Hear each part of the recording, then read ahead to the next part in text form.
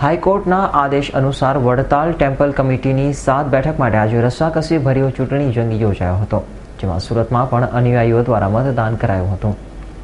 નામદાર કોર્ટના આદેશ અનુસાર આજરોજ વડતાલ ટેમ્પલ કમિટીના સાત સભ્યો માટેનો ચૂંટણી જંગ યોજાયો હતો. ત્યારબાદ છવ્વીસ ઉમેદવાર વચ્ચે કરોડોનો વહીવટ હસ્તગત કરવા ત્રણ જૂથ દેવપક્ષ, લક્ષ્મીનારાયણ દેવપક્ષ તથા સ્વામિનારાયણ સિદ્ધાંત પક્ષના જૂથ વચ્ચે સત્તાની ખેંચતાણ સાથે વહીવટ હસ્તગત કરવા જંગ છેડાયો છે. ત્યારે ત્રણેય જૂથના સંતો દ્વારા ઈડી ચૂંટીના જોર પણ લગાવવામાં આવ્યા છે. ત્યારે મતદાનમાં વડતાલ, સુરત, મુંબઈ તથા રાજકોટ ખાતે પણ મતદાન યોજાયું હતું.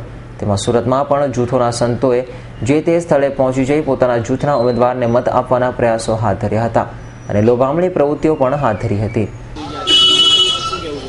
એટલે ચૂંટણી એવું છે કે ધર્મના કાર્યમાં જે સારો વહીવટ કરી શકે, એના માટેની આ ચૂંટણી છે.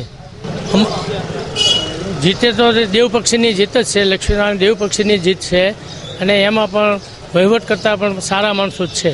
આવી ઘણું દુઃખરૂપ છે, પણ હવે બન્યું, એટલે હવે એમાં તો બીજું શું થઈ શકે?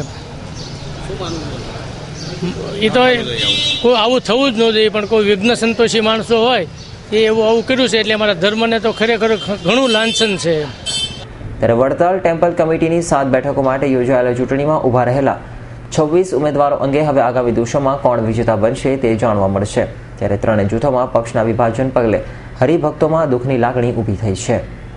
Bureau report, S nine news, Surat.